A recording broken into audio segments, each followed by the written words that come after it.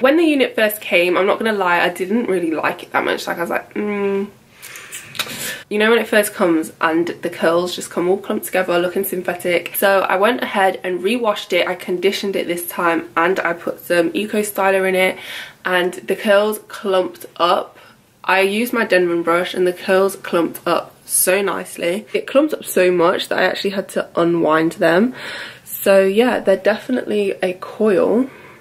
As you can see, the curls are coily rather than like an S curl. I hate S curls, I'm not gonna lie. And it shipped so quickly, guys. Like by the time I put my order down, like two days later, it was already at my door. So that's a bonus if you need like really quick shipping. So they said first of all that it's pre-plucked and yes it is pre-plucked. Like I didn't have to do absolutely anything to this and one thing that I do like about it is that not all the strands at the bottom are the same length so it is kind of layered and it looks more natural. As you can see whereas if it was just like all, all one length it would just be like girl what is going on?